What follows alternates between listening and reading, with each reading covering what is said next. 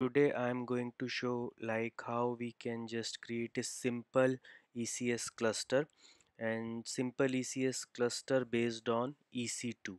So uh, ECS cluster is basically a cluster that has compute power and we can create this cluster either by using Fargate or by using EC2s underneath. So we will just create a very very simple cluster that will just uh, run nginx uh, docker images on the ec2 box and uh, just to set up uh, just to make this setup a more clear like uh, how you can uh, start creating these clusters and start using it. So let's quickly start. So i will just um, create this cluster by using the new uh, new console uh, because it's a bit easy to create cluster by using console though it has some issues also that I will talk. So let me first start. So this is my test cluster and uh, uh, networking uh, I will choose the default VPC and the default subnets that are already selected. Uh, but maybe if you are working with some organization you may have uh, a choice of different VPC environments so you can choose accordingly. So uh, rest I will I will try to keep majority of the things as unchanged uh, or optional. So over here in infrastructure we need to choose uh, EC2 because we are going to uh, create this cluster using the EC2 instances. So for EC2 it will ask whether you want to choose an auto scaling group that is already created.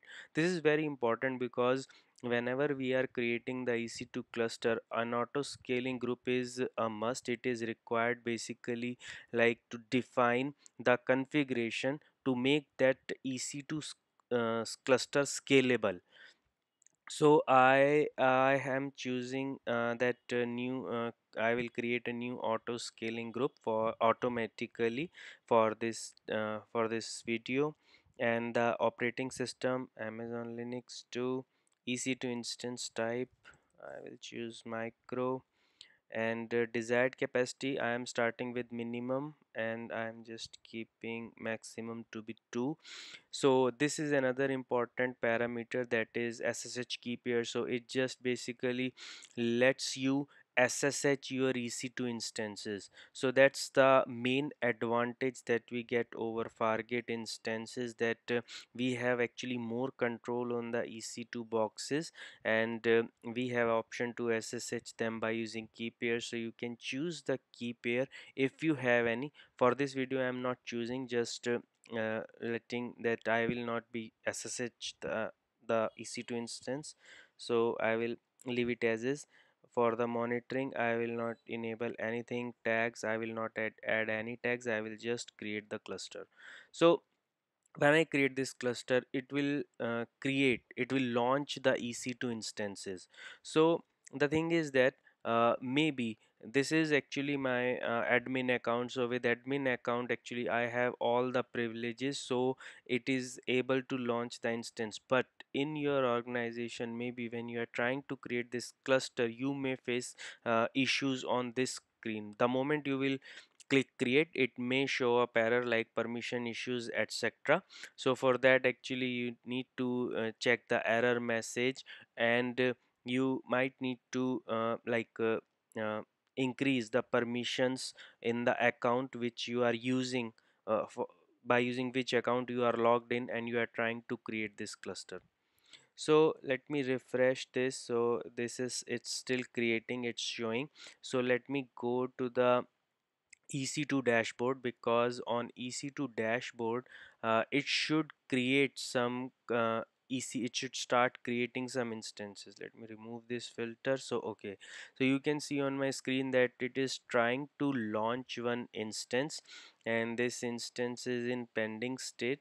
So let me uh, let's check the configurations of this instance. So you can see that on the tags a little description you can see that it is a part of the ECS cluster my test this is the cluster that we just created. So you can see that this instance was launched by that cluster. And uh, some more things to note is that uh, you must be wondering that this, why this um, uh, this cluster is created with this instance role im profile.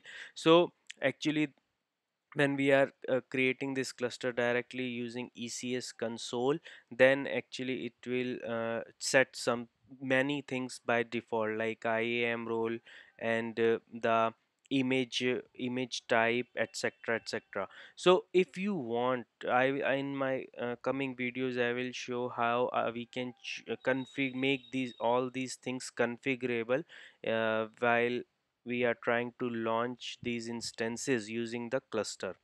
So as of now uh, let's see if this it, it it is ready to be used. So it is just uh, status checks are uh, working in the background uh, or like this instance is still not ready to be used. So uh, let's go meanwhile let's go back to the cluster and try to add services to, to it. So this is just a basic cluster. So on the new screen if you go to the infrastructure here you will be able to see how much capacity you have. So you can see that uh, this uh, it is trying to launch uh, one EC2 instance is available in the infrastructure tab which means that there is one EC2 instance associated with this cluster. And if we are going to launch any task or containers it will be launched successfully using this EC2 box. So let me go to the services section and let's start creating the service. So if I create this service let me go to the service and start creating it then it's just a simple service uh, with the uh, which is a part of this uh, uh, cluster. So I can just uh, it is okay let me see okay create service. Okay so I will use the launch type uh, EC2 because I'm going to run the service by using EC2 and I need to choose a task. Like which task I am going to use oh okay this not task uh, this will remain service only because uh, task is that uh, I need to launch as a standalone task that runs and terminates. It's like it's more of a batch job processing but no I will key, uh, I will use the defaults that is service only. Over here I have to choose the task definition as which task definition will be used.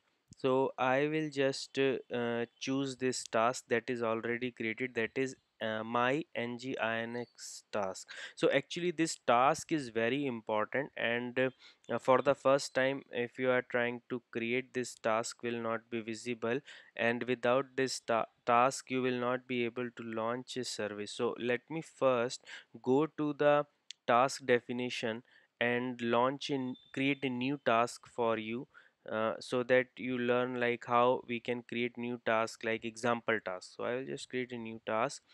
I will give my test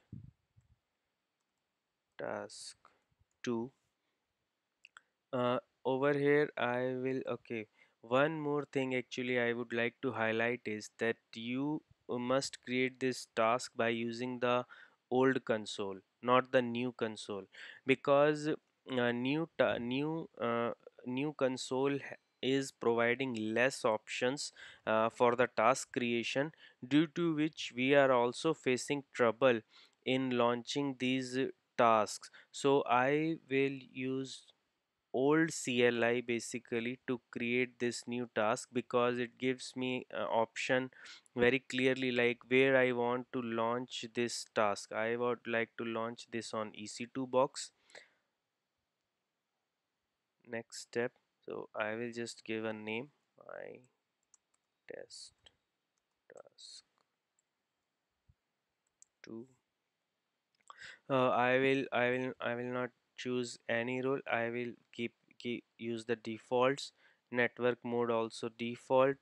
Task execution role I will choose uh, none uh, it's just default. Memory I know that I will I'm running uh, ng nginx server and for that I would need 512 and CPU 256 so I will now add a container and inside the container I will give the name nginx image is nginx latest that it will fetch from public repositories. Latest image. Port mapping is important because uh, uh, nginx image when it will run as a docker image inside a container then it will uh, expose this port. Container port 80 tcp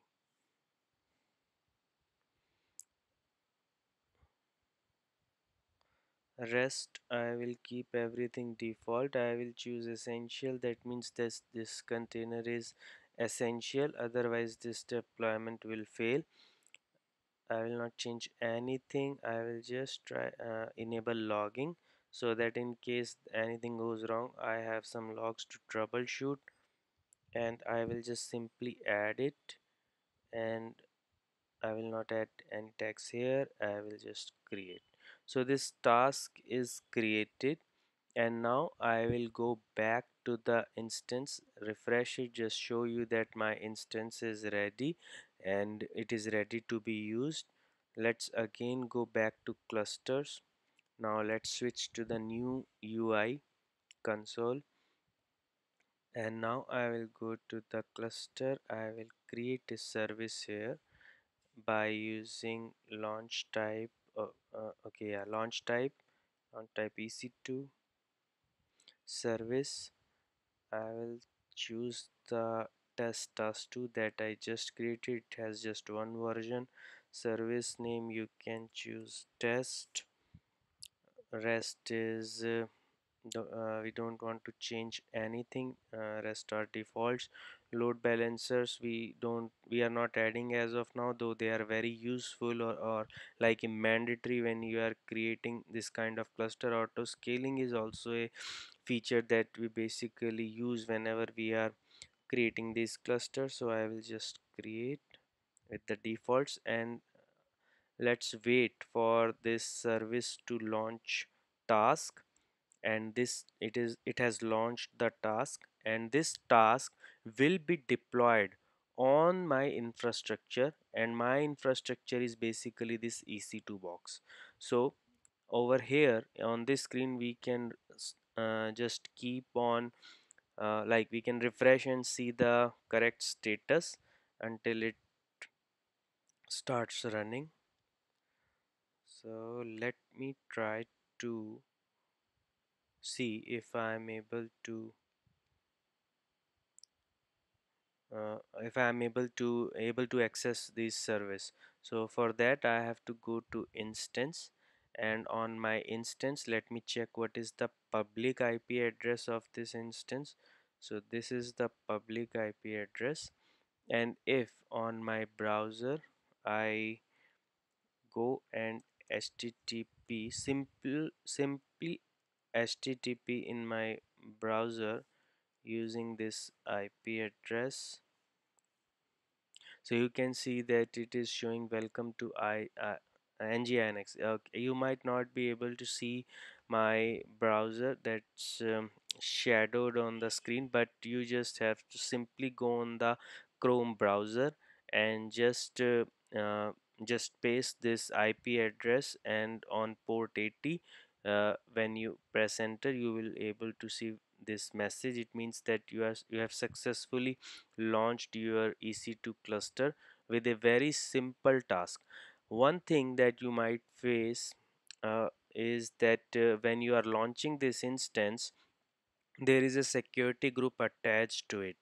And this security group is uh, default uh, and uh, uh, this security group actually might not have permissions to access on port 8080 so what you can do is you can just edit this security group and especially the inbound rules and on inbound rules you have to allow port 80 uh, just if you are just for the testing purpose you can uh, allow all IP addresses and then all IP addresses will be able to will have access on port 80 on this machine.